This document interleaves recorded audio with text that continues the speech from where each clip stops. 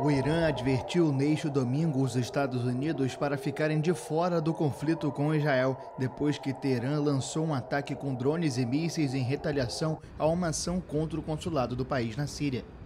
A missão permanente do Irã na ONU afirmou que a ação militar foi uma resposta ao que foi chamado de uma agressão do regime sionista contra instalações diplomáticas.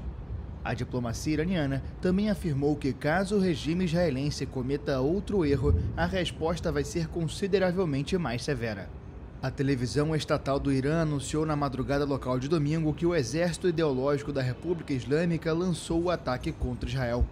Poucos minutos depois do início da operação, a conta no antigo Twitter do líder supremo iraniano, o Ayatollah Ali Khamenei, voltou a publicar uma mensagem afirmando que o regime diabólico vai ser punido.